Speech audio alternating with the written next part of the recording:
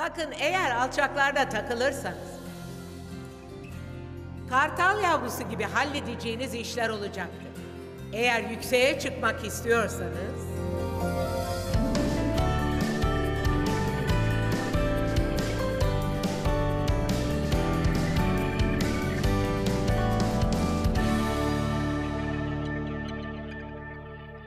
budama, budama her zaman yeni filizler oluşmasına yol açar.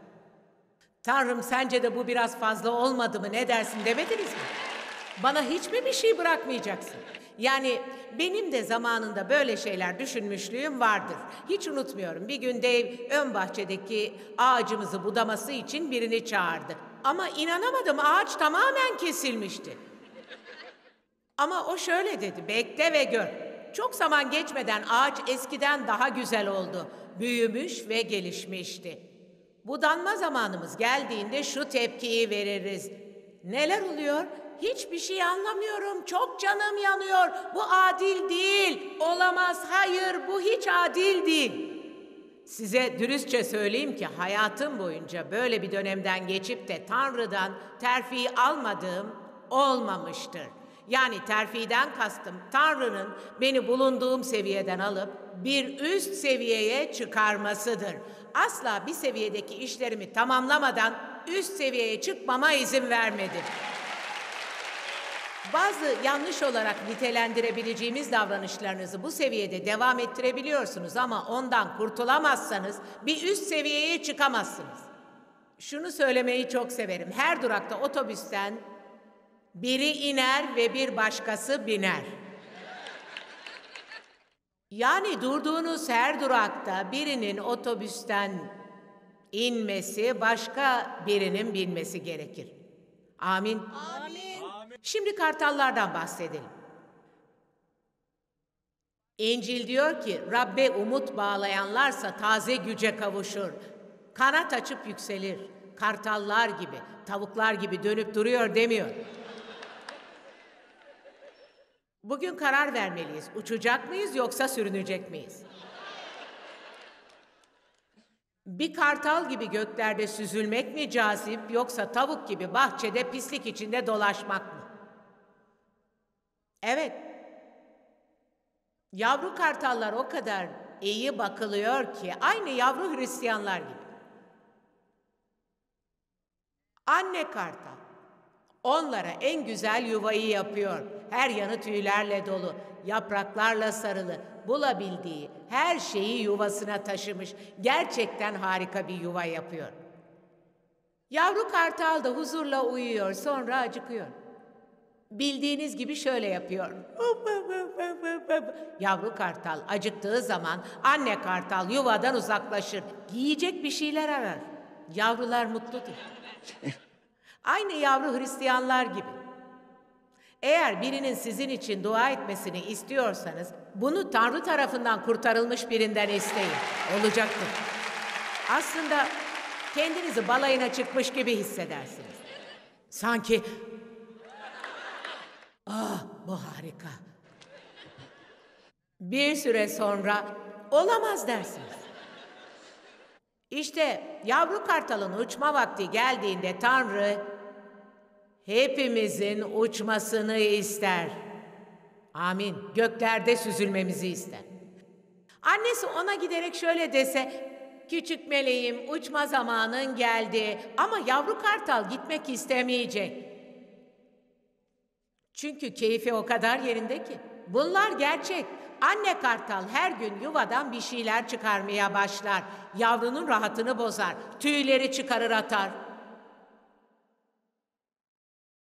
Onu mutlu eden her şeyi dışarı atar. Ve yavru kartal artık yuvanın içinde yapayalnız kalır. Yuva boştur. Sadece yapıldığı ham malzeme kalmıştır. Yavru kartal artık yuvanın kenarlarında dolaşarak şöyle düşünür. Yani bilemiyorum artık burası rahat değil. Belki dışarısı daha güzeldir. Annesi bebeğine büyük bir iyilik yapacaktır. Yuvaya gelir ve yavrusunu kapar. Ondan sonra yükseklere doğru uçar ve sonra da onu aşağıya bırakır. Onun için daha iyi olacaktır. Ve aniden yavru yere çarpmadan önce anne hızla onu yakalar. İşte böyle, evet. Anne onu yakalar. Aa, aa!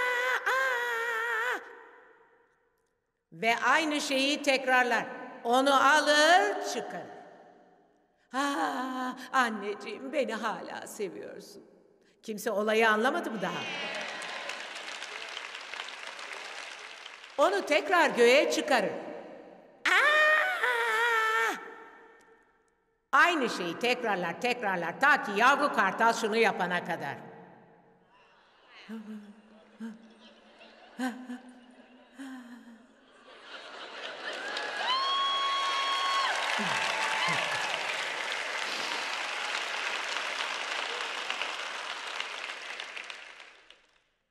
İşte Tanrı da bunu istiyor.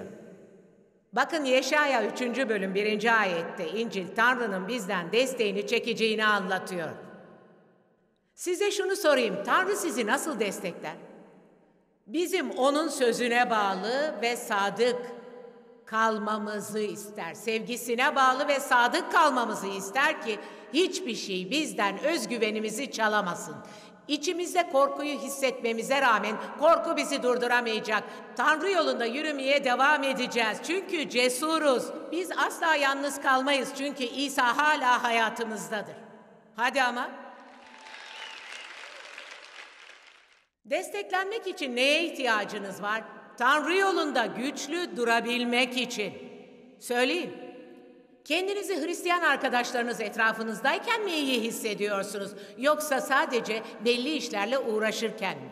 Kısa bir hikaye anlatacağım.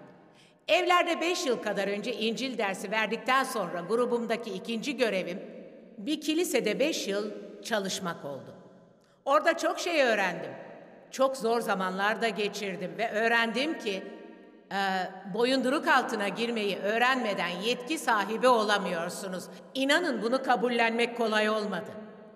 Şunu anlayın, eğer hayatınızın herhangi bir alanında terfi bekliyorsanız ama boyunduruk altına giremiyorsanız, bana sorarsanız boşa uğraşıyorsunuz. Ah.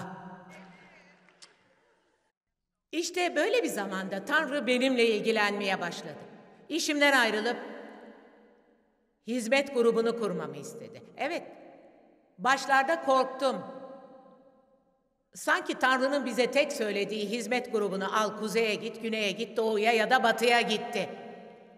Ama sorun oralarda beni kimsenin tanımaması, kim olduğumu bilmemesiydi. Saint Louis'de küçük ama harika bir hizmet grubumuz vardı. Yerel bir radyoda düzenli olarak çıkıyordum. Hepsi buydu. Nereye kadar gidebilirdim ki? Tanrı sizden bir şey istediğinde ayağınızı sürükleyip durursanız sefilleşirsiniz. Aranızda kimse Tanrı'nın tekrar tekrar ilgilenmesinin ne demek olduğunu biliyor mu? Daha önceleri çok sevdiğim personel toplantısı gibi şeyleri artık nedense sevmemeye başladım. Nefret ediyordum. Benim sorunum ne anlamıyorum. Neyse hikaye aslında uzun ama vaktimiz yok. Kısa keseceğim. Tanrı bana yol gösterdi. İşimden ayrılarak seyyar masamı ve hesap makinemi de yanıma alıp Saint Louis'nin kuzeyini, güneyini, batısını, doğusunu tek tek gezerek toplantılar yaptım. Tanrı bana hepsini dolaş dedi. Bunu yaparken de o zamana kadar bilmediğim bir şey öğrendim. Bir şeye sahipseniz ona bağımlı hale geldiğinizi fark edemiyorsunuz. Ki Tanrı onu sarsıp yerinden oynatıncaya kadar. Tanrı'ya olan güveniniz neye bağlı? Arkadaşlarınızı kaybetseniz hala güvenecek misiniz? Onun yolunda yürümeye karar verince grubunuzun sizi dışlaması durumunda ona olan güveniniz devam edecek mi? Bununla başa çıkarak Tanrı'yla yürümeye devam eder misiniz yoksa geri mi çekilirsiniz?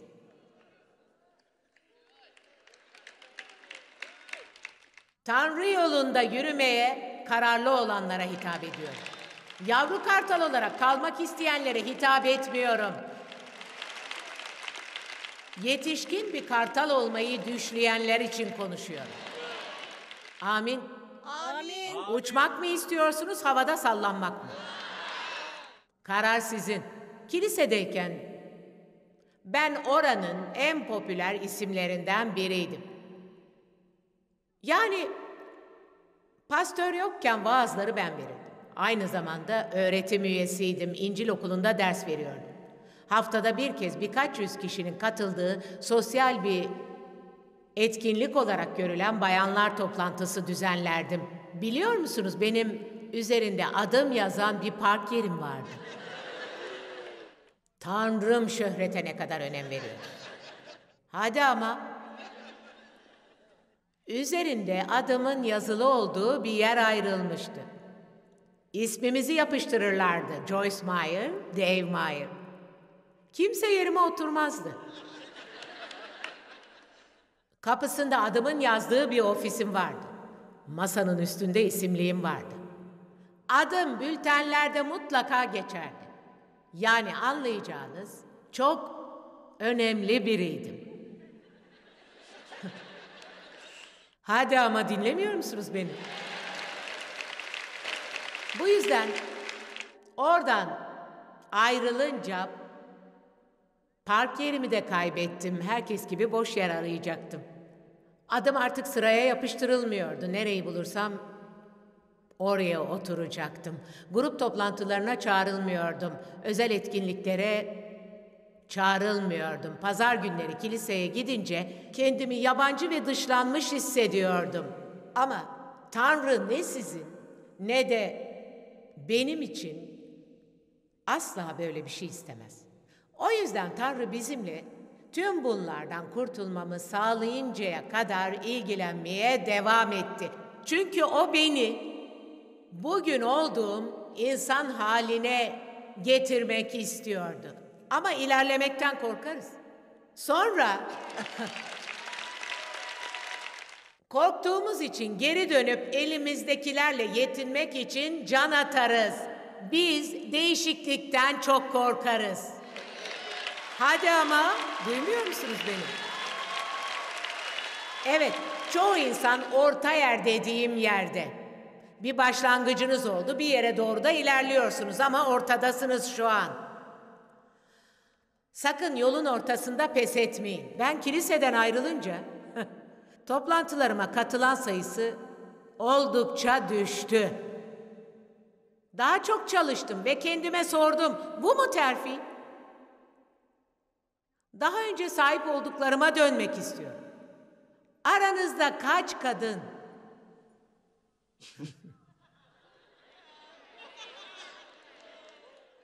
size daha önce köpek gibi davranan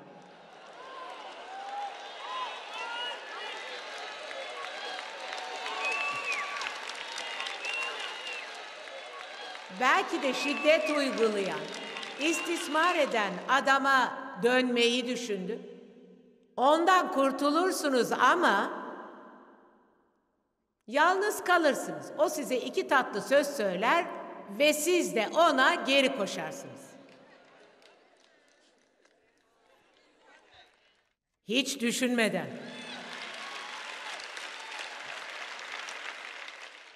Sizden şunu istiyorum. Tanrı'nın durmanızı istediği yerde durun, zor şeylerden kaçın anlamına gelmiyor. Size şiddet uygulandıysa ve istismar edildiyseniz buna izin vermeyin.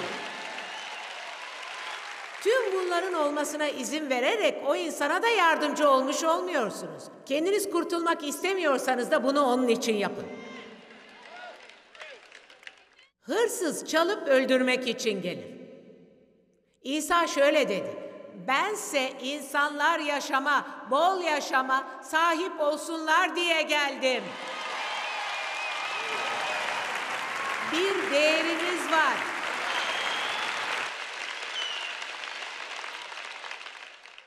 Benim eski işime dönmeyi kaç kez düşündüğümü bilemezsiniz.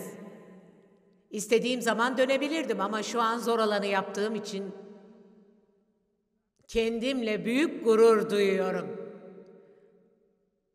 Biliyor musunuz bazen mücadele etmeyerek neler kaybettiğimizi düşünüyor ve ürküyorum. Filipililer 3'te Pavlus, kardeşler kendimi bunu kazanmış saymıyorum ama şunu yapıyorum. Geridekileri unutup ileriye uzanarak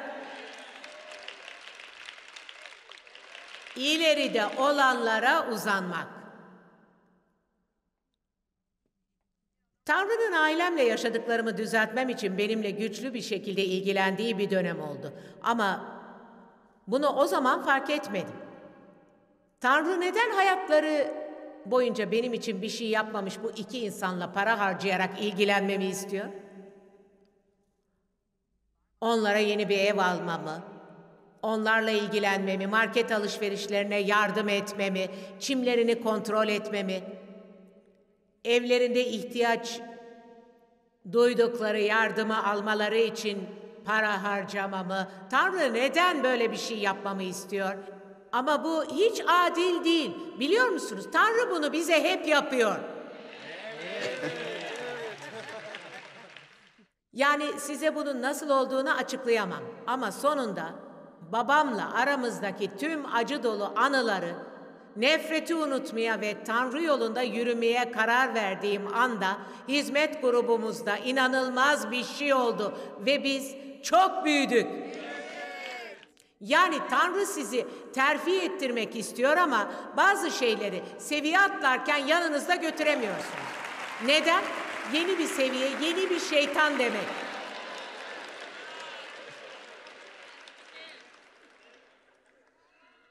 Eğer alçaklarda takılırsanız bir kartal yavrusu gibi halledeceğiniz işler olacaktır. Ama yükseğe çıkmak istiyorsanız bu durağa gelmeden otobüsten indirmeniz gereken şeyler var. Amin. Beş yıl boyunca evlerde İncil dersi verdim. Sonra Tanrı'nın artık buna son vermelisin dediğini hissettim.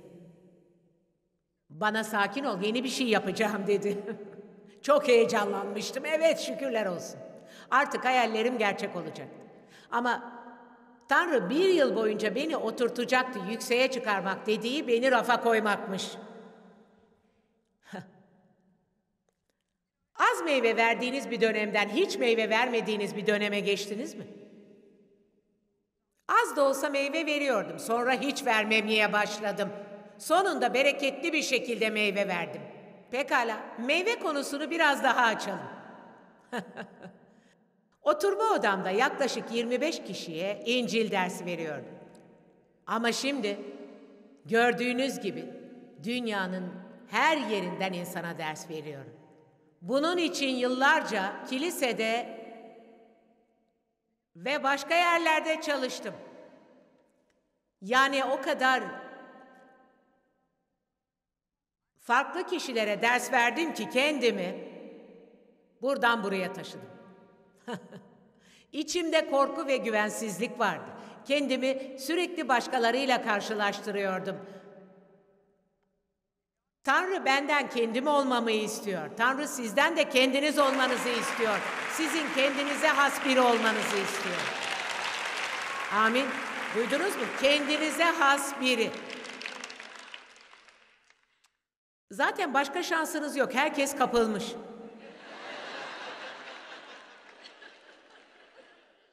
Siz de kendinizden hoşlanmayı ve kendinizi takdir etmeyi öğrenebilirsiniz. Her yerde kendinizi dengeli bir şekilde sevebilirsiniz.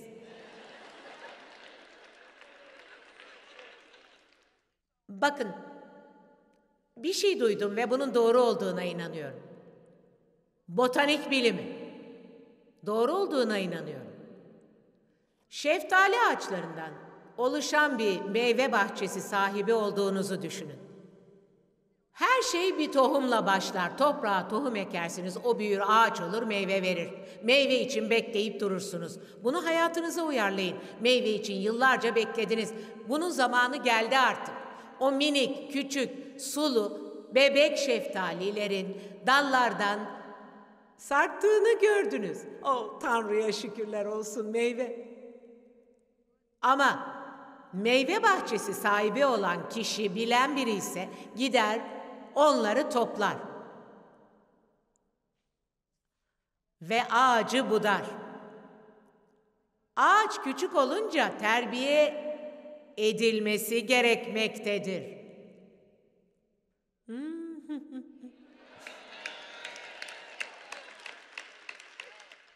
Belki bir iki yıla kadar, belki bir yıl sonra aynısını yapar. Ağaç büyümeye, meyveler vermeye başlayacaktır ama o şöyle der. Hayır, Hala istediğim gibi değil. Ve onları yine koparır. Ağaç olduğunuzu düşünün. Benimle dalga geçiyorsun. Bu kadar bekledim, uğraştım, canımı dişime taktım. Yıllarca durdum, durdum, bekledim, bekledim. Sonunda şeftali verdim ama onları kopardın attın. Bakın, ruhani anlayış gücüne sahip değilseniz beni takip edemezsiniz. Bu kadını aklını kaçırmış olmalı diyorsunuzdur. Bugün her şeyi konuştuk. Şeftalileri koparıp atmaya kadar.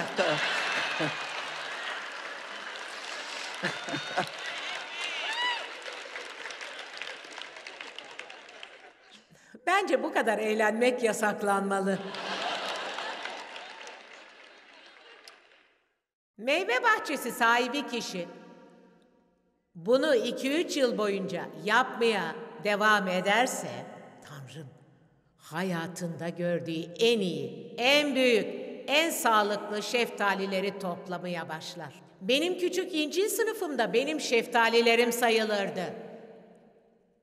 Hiçbir hafta dersleri kaçırmayan 25 öğrencim vardı. Oturma odamda otururduk. Onlara İncil öğretirdim. Sonra eve giderlerdi. Ertesi hafta yine gelirlerdi. Çok tatlı bir gruptu. Hayatımın en güzel dönemiydi. Tanrı bana dedi ki bu kadar yeter. Yeni bir şey yapacağım. Ben de bu yüzden ertesi yıl komşum gibi olmaya çalıştım. Sanırım bu hikayeyi dinlemişsinizdir. O yüzden sizi bir daha sıkmayacağım. O eli çok yetenekli olan bir kadındı. Sanatçıydı. Ben normaldim. Yani dekorasyondan bile anlamazdım. Mobilyayı alır ilgisiz bir yere koyardım. 20 yıl hiç kıpırdatmazdım. Ama o mobilyalarını sürekli oradan oraya koyuyor. Her seferinde eve girince sanki daha önce gelmediğiniz bir yere gelmiş gibi hissediyordunuz.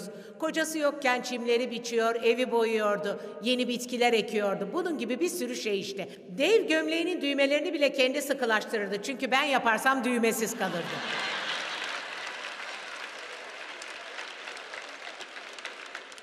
Şeytan şunu söylemeye başladığında, evet şeytan şöyle dedi. Artık şu dünyayı değiştiren kadın olacağım tavrını bırak. Normal bir kadın gibi davranmaya başla.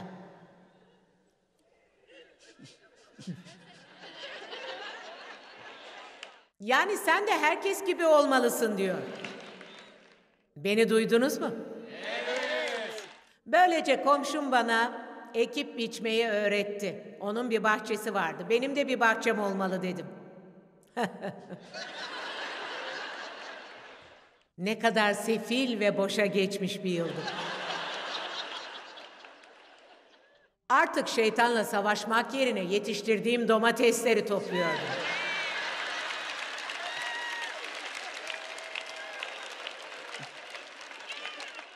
Kalbinizin sesinin peşinden gidecek kadar cesur musunuz? Eğer domates toplamak için mesedildiyseniz bunu yapmanız gerekiyor. Ama herkes aynı yeteneklere sahip değil. Bahçe işi pek o kadar iyi gitmedi sonuçta. Yani becerebileceğim bir iş değildi. Bahçeyi mahvettim. Domateslere böcekler saldırmış ve mahvetmiştim. Komşum yan evde oturuyordu. Aramızda kısa bir mesafe vardı ama onun domateslerine saldırmamışlardı. Benimkiler mahvolmuştu. İnançlı olduğumdan domateslerim için dua etmiş olmama rağmen. Hadi ama.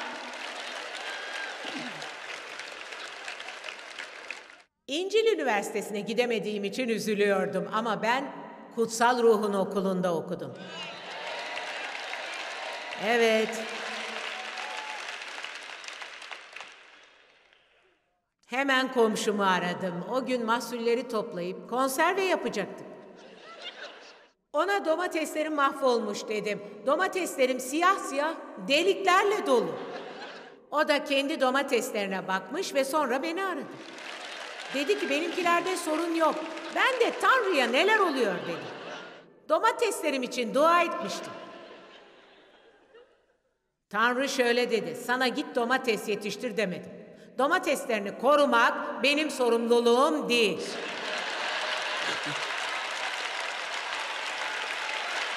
Hadi.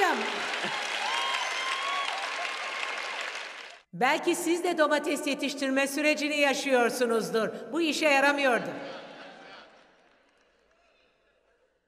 Oh, amma eğlendik.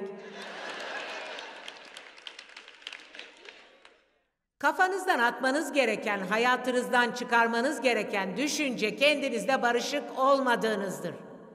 Size kendinizden nefret ettiğiniz, kendinizi sürekli eleştirdiğiniz düşünceleri kafanızdan atın diyorum. Bugün Tanrı'nın sizi kendi eliyle annenizin karnında yarattığı gerçeğini kabul edin. Tanrı bir kişilik verdi, yetenek verdi. Size şunu söyleyeyim. Tanrı olmanız gereken kişi olmanızı istiyor. Kendiniz olmaya karar verene kadar Tanrı'nın hazırladığı bir sonraki seviyeye geçemeyeceksiniz. Bunu asla yapamazsınız. Böyle bilin.